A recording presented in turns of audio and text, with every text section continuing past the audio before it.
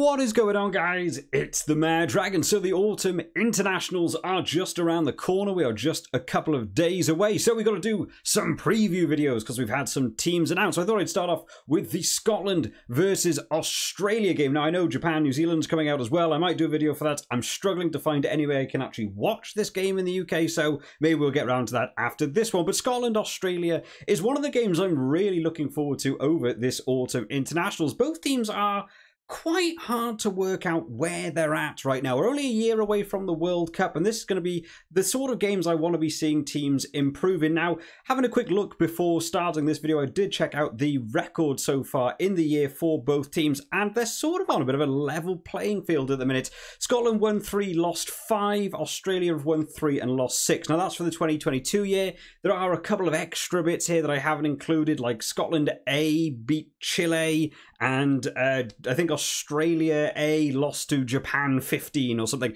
They're not quite the starting teams. There's a lot of experimental players and their new caps and stuff. I haven't quite included them in this. This is sort of the, the mainline games that you see going on. So both teams sort of on like a about a 30% win rate compared to all their games. Um, which isn't great to be fair, and both teams are struggling in quite similar areas. Discipline has let both teams down across their games so far they've played this year, so getting to see both them play each other will of course be very, very entertaining. So, so let's check out the teams that have been announced to start off in this game. Starting off with Scotland, they're the home team, why not? We'll mix it up a bit. I feel like I haven't spoken about Scotland for a while. So, starting out of this front row, Pierre Schoeman, Dave Cherry, and Zander Fagerson. That's a good starting front row. They're obviously not thinking they're going to warm up into these games. They want to get straight off into these autumn internationals potentially with a win. That's a strong front row. I'm liking what I'm seeing there. Sam Skinner and Grant Gilchrist will be filling out in that lock department, both which playing quite well. Actually, a lot of people spoke about in the Six Nations how much work Grant Gilchrist was doing, but just sort of quietly doing it in the background. I had to agree when you just stop and look at him, he's playing really well actually.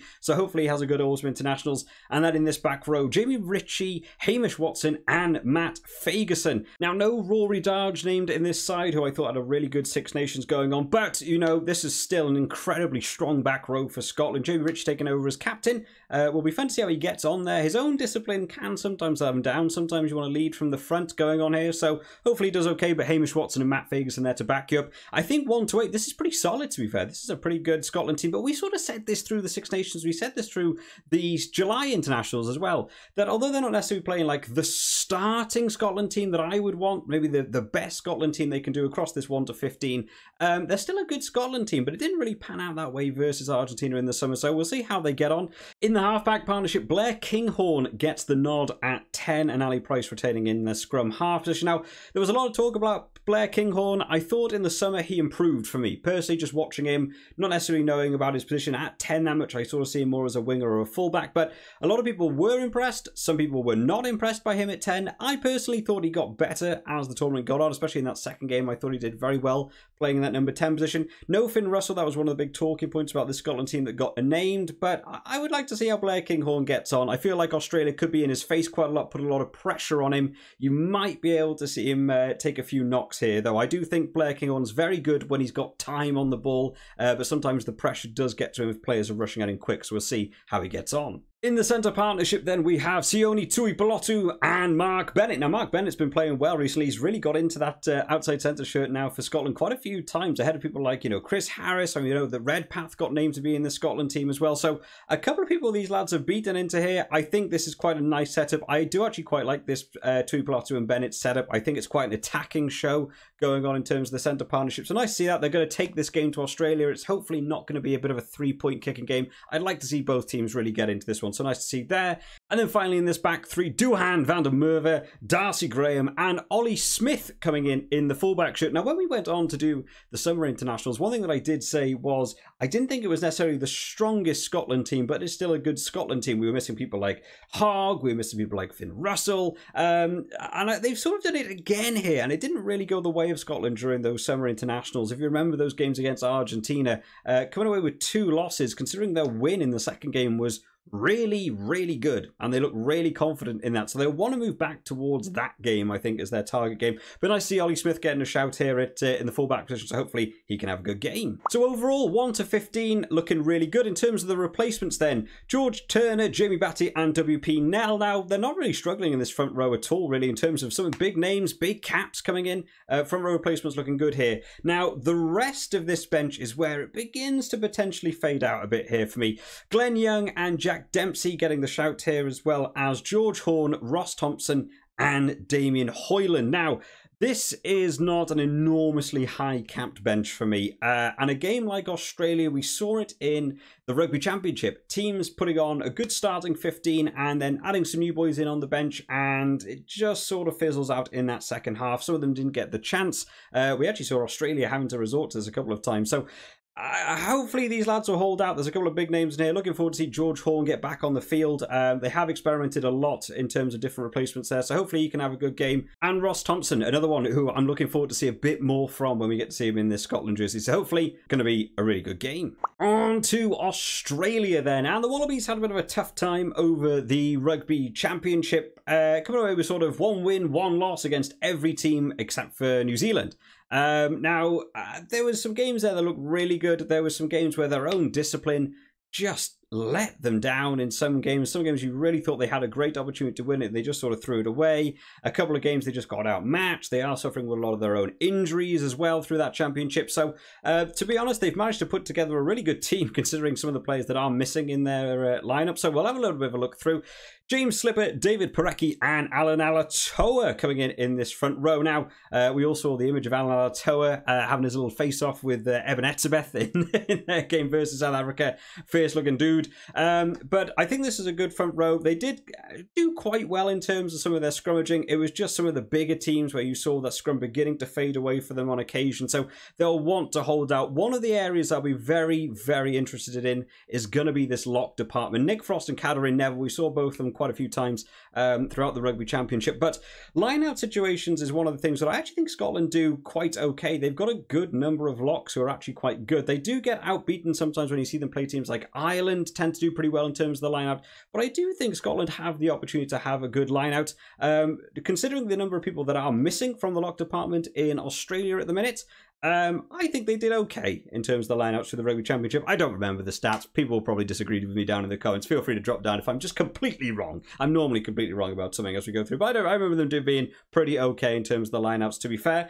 In the back row, then, Jed Holloway moves into that six shirt. Michael Hooper comes back in in the seven shirt, and then finally Rob Valetini in that eight shirt. Michael Hooper coming back in, of course, missing out on that rugby championship, took himself out just before that first game. Um, we saw a couple of new people coming for me, people like uh, Fraser McReight coming in there as well, filling in in that seven shirt. So um, I think this is still a really good back row. They're going to be coming in, they're going to come in hard. We know what Michael Hooper offers. Rob Valetini had a really good rugby championship. He was absolutely smashing through players. Anyone involved with the fantasy will know he uh, did score pretty well throughout most of those games. Uh, Uh, so on to 8 also looking pretty solid for Australia. Really looking forward to see how some of these forwards match up against each other.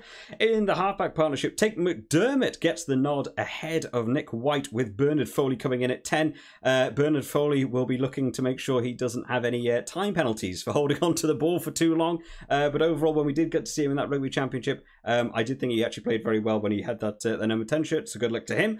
In the centre partnership, Hunter Paisami and Len Ikitau. We saw these partnerships sort of moving around a little bit throughout the rugby championship. Len Ikitau played very well, actually, throughout most of the games. Uh, again, another one, if you were involved with the fantasy, you will know he scored some big points. I think he might have been one of the highest scoring centres throughout that fantasy. So, really good to see him back in this team as well. And then finally, in that back three, the, they've really mixed up these wingers an awful lot. A lot of injuries going on. Tom Wright moves to the left wing, Andrew Kellaway onto the right wing, and Tom Banks in that fullback position. Now, there's a lot of these players that can all interchange and move around a little bit. So there's a lot of malleability in this team, so it's nice to see. Uh, no Koroibete, which uh, is a shame for me, who made a bunch of thumbnails and spent a long time doing them, and uh, have now got Koroibete in the thumbnail. He's not even playing. Wonderful. Uh, so that's going to mess that up a bit. But in terms of 1 to 15, uh, this is a good looking Australia team. Um, I think they could do quite well in this game. Finishing off with the reserves then, uh, we have the replacement forwards Paulo Fainga'a, Matt Gibbon and Taniela Tupou, Ned Hannigan, whose name uh, I'm not familiar with, so looking forward to see him. And then finally Pete Samu, another one in that back row playing really well. Australia do have some good depth, to be fair, in their back rowers. Um, again, I think this is actually a, a nice looking team. I don't know a lot about Ned Hannigan, so I'll keep a special eye out for him in there. Uh, but this is a good set of replacement forwards. They all played very well, maybe apart from Taniela Tupou, actually. Uh, Taniela Tupou was not really been hitting the mark for me recently, so hopefully he gets a bit more into it um, in this autumn internationals. Replacement backs, then we've got Nick White, Noah Lolesio, and finally Jock Campbell going to be making his debut. So in terms of the bench mix-up, um, I feel like I might be siding with that Australia have the stronger bench. I'm sure someone will disagree with me pretty much no matter what I said there, but I do think I'd probably move down the route of that. Australia probably have the stronger bench for me here. Um, no one going for the 6 2. So says to me that maybe we'll get to see a bit of an open game. Hopefully the weather will be good and hopefully both teams keep their discipline under wraps, which is what it's really going to start to boil down to is going to be which team keeps their discipline. We saw Australia basically throwing away a game or two during that rugby championship through their own discipline, letting them down. Scotland arguably did the same thing during the Argentina tour. Uh, so who's going to keep their composure the best? So in terms of a score prediction, what do we think? I actually think this one might be really close. Um, I don't think it'll be a blowout either way. So I'm going to say, you know what? I think I'm going to say Australia to win, but not by much. I'm going to say Australia to win by two. That's going to be my prediction, guys. But as always, I absolutely welcome you guys to drop down your predictions down in the comment section because I always enjoy having a bit of a read through them. If you haven't already, remember to sign up to the Superbru. It is live. You can get involved with the predictor. You've got two days now to go sign up, put your teams in, and what have you. And if you want to get a jump on me doing my Superbru, why don't you do like other people have done and join the Patreon? If you get involved there with the Tier 3 membership, you guys can see my Superbru predictions